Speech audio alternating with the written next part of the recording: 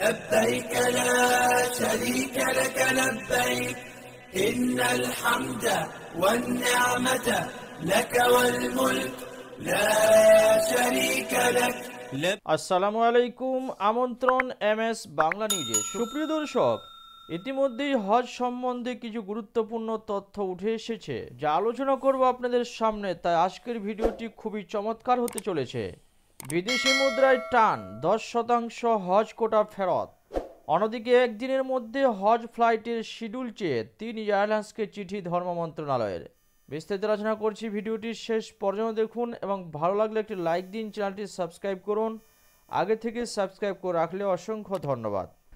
আর্থিক বিপর্যয় ক্রমশই ভয়াবহ অবস্থায় পৌঁছাচ্ছে। তার বড় প্রমাণ, দশ শতাংশ হজ কোটা ফেরত দেওয়ার ঘটনা। ফেরত দেওয়ার কারণ হিসেবে পাকিস্তানের হজ কমিটির বক্তব্য, পর্যাপ্ত বিদেশি মুদ্রার ব্যবস্থা করা যাচ্ছে না বর্তমান সময়ে।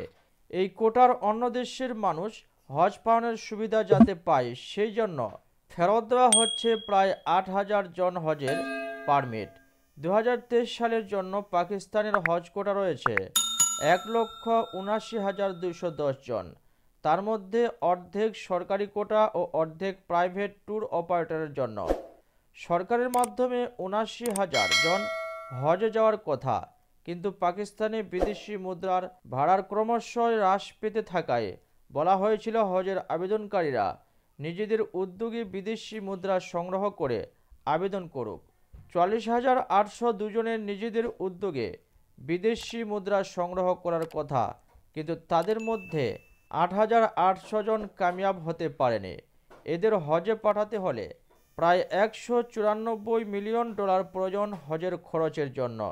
সে কারণে এই কোটা সেন্ডার করার সিদ্ধান্ত নেওয়া হয়েছে। যদিও সাত এপ্রিল আবেদনের শেষ তারিখ ছিল, সময় বাড়িয়েও বিদেশি মুদ্রার আয়োজন সম্ভব হয়নি।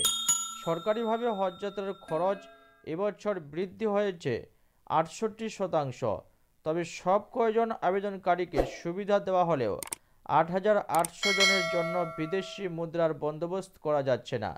সেই কারণে দুঃখের সঙ্গে হজ কোটা ফেরত দেওয়া ছাড়া কোনো বিকল্প নেই বর্তমান পাক সরকারের। অন্যদিকে একদিনের মধ্যে ফ্লাইটের শিডিউল চেয়ে তিন এয়ারলাইন্সকে চিঠি বাংলাদেশ ধর্ম মন্ত্রণালয়ের। Biman Bangladesh airlines, Saudi Arabian airlines ও ফ্লাইট নাসকে এই চিঠি পাঠানো হয়েছে। চিঠিটি লিখেছেন ধর্ম মন্ত্রণালয়ের উপসচিব আবুল কাশেম মোহাম্মদ শাহেন। চিঠিতে বলা হয়েছে, উপযুক্ত বিষয়ের পরিপ্রেক্ষিতে জানানো যাচ্ছে যে, চাঁদ দেখার সাপেক্ষে আগামী সাতাশে জুন দু হাজার তেইশ তারিখে হিজরি চোদ্দোশো সনের পবিত্র হজ অনুষ্ঠিত হবে। দু হাজার তেইশ সালে সরকারি ও বেসরকারি উভয় ব্যবস্থাপনার হজযাত্রী নিবন্ধনের সময়সীমা এগারো এপ্রিল। দু হাজার তেইশ তারিখ শেষ হয়েছে।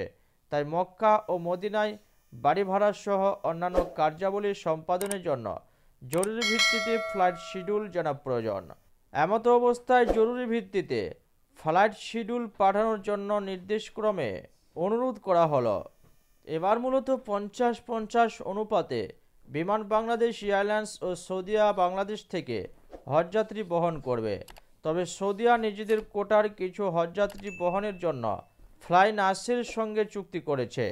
এর আগে সাড়ে সাত হাজার কোটা ফাঁকা রেখে শেষ হয়েছে চলতি বছরের হজের নিবন্ধন। মঙ্গলবার এগারো এপ্রিল সরকারি বেসরকারি পর্যায়ের হজ নিবন্ধনের সমাপ্তি টেনেছে হজ মন্ত্রণালয়।